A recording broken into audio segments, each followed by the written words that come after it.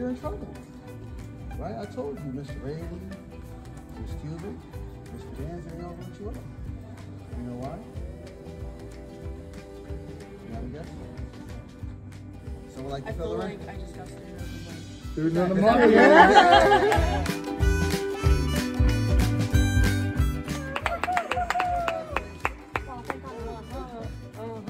already know it's Shiny Maxwell, student of the month. Yes, ma'am.